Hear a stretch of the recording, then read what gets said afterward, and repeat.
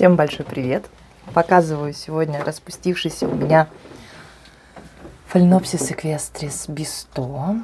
На бирке от поставщика он значится вот так.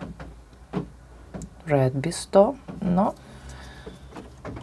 это по сути наш Бисто. Сравнила с кучей фотографий. Это он.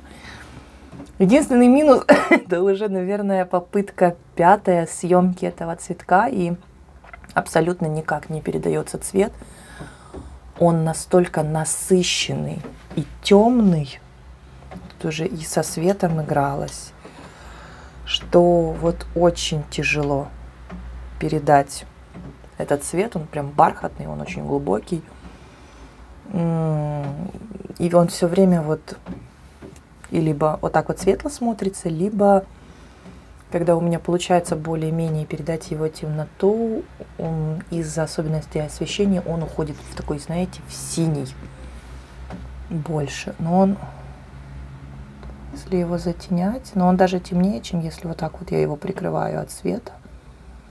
В общем, я не профессиональный фотограф или оператор. Вот видите, он уходит в синеву.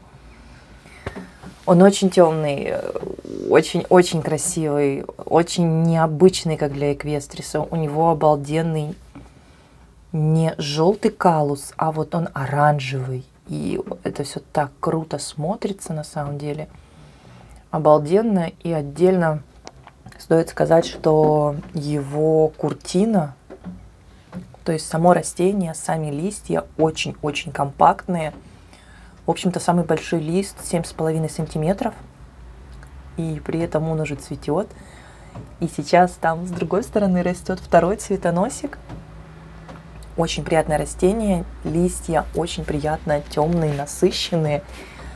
Он меня очень-очень радует. У меня их два. У меня есть дубль. А дубль тоже растит бутончики потихоньку но он решил заняться деткой, чем меня очень-очень порадовал. И он тоже растит еще один второй цветоносик. Очень такие интересные плодовитые ребята оказались на цветоносике при таких скромных размерах. Так, подвинься, друг мой. Вот, смотрите. Вот такая скромная куртина вот мой пальчик большой. Да, то есть совсем-совсем. И вон он цветоносик второй. Вот она, милая деточка. Очень красивый товарищ.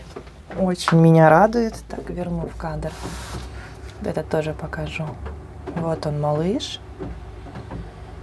И вон он, цветонос, корешок рядышком.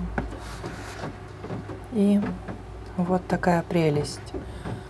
Цвет вот этот вот, который вот в данный момент получилось поймать, очень приближен, но все равно гораздо светлее, чем то, что на самом деле. Наверное, вот знаете, сейчас я вам как цвет попытаюсь объяснить. Видите, под калусом на губе тень. Вот весь цветок такого цвета, как вот эта тень. Вот он, весь настолько темный и насыщенный, очень красивый, стоящий внимания. Я, честно говоря, безумно рада, что я его нашла. Когда мне показали, что он есть в продаже, я, честно говоря, прыгала и визжала. Он обалденный. Я была рада, когда его получила. Сумасшедше красивый для меня, потому что я обожаю эквестрисы. И, как я уже говорила, Конечно, да, отдельным достоинством выступает его компактность, и я не ожидала, что он так легко перестроится на мои условия на самом деле, э, потому что удалила у него часть бутонов, чтобы они не тянули из него силы. Он дорастил два крупных, вот один распустился, второй вот, и вот он доращивает дальше. Он дал еще один цветонос при этом не терял тургор, при этом растит корни, при этом второго товарища вы видели, когда я оборвала цветонос, он решил, что он даст детку. Так что, скажу так, как и все эквестрисы, весьма пластичен, весьма дружелюбен. И с удовольствием, конечно же, порекомендую. Но цвет, цвет не могу, не могу налюбоваться, потому что смотрю не в камеру, смотрю поверх нее, и, боже, а, цвет просто вот темный и глубокий. Действительно, очень темный, очень глубокий. Такой бархатный вельвет. Очень, очень жаль, что не получается эту бархатистость передать. Может, вот так. И так он все равно гораздо светлее, чем он есть на самом деле. Вот, ну, очень интересно играет цветом. Замечательный малыш. Давайте попробую показать вам еще его на белом фоне для сравнения. Вот такое чудо. Замечательно, просто замечательно. В общем, о нем я могу говорить часами, какой он прекрасный и замечательный, но на этом, пожалуй, все.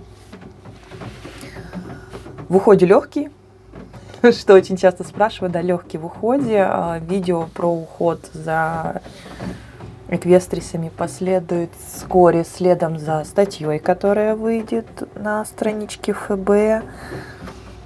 Вот, и в группе про эквестрисы моей. Ну, в общем-то, все есть в описании. Я думаю, потом найду время а, как-то кадр красиво скомпоновать и сделать видео про мой уход, но скажу так, очень-очень нетребовательный в уходе товарищ. И я, конечно, стараюсь и делаю очень многое для своих эквестрисов, к ним у меня отдельный подход, но по сути, честно, спокойно растет на любом подоконнике, стеллаже, при искусственном освещении, абсолютно не получая солнышко. И с солнышком приятный товарищ. Всем большое спасибо за просмотр. Всем солнечных дней, пышных цветений. Не забывайте ставить лайки, писать комментарии. всем пока-пока.